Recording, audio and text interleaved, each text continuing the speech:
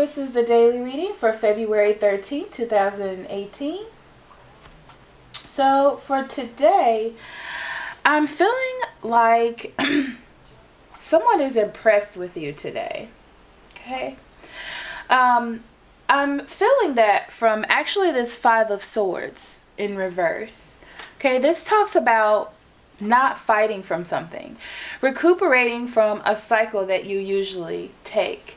Um, meaning, like, if this happens, this is the route that I always take. Okay, not necessarily that it works for you, it's just what's comfortable is what you've always done.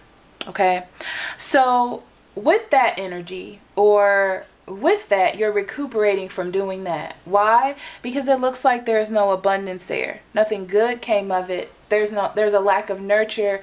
There is some downtime and you're trying to figure out how to pick it back up.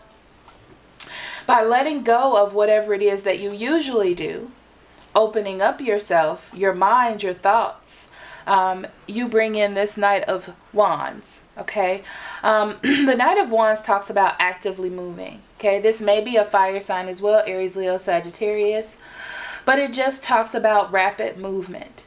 Okay, um, somebody with a lot of passion coming in to express how they feel, and it's a happy feeling. I'm getting more happiness by this. Because in your environment you have the death in reverse, and this talks about somebody being resistant okay? Um,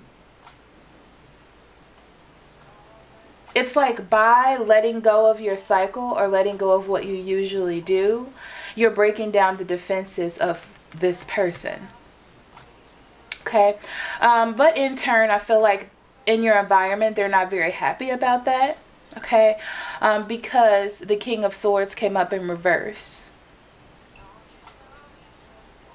So it's like they feel like because you're doing this, you're um it almost feels like you're they're they think that you're trying to manipulate them.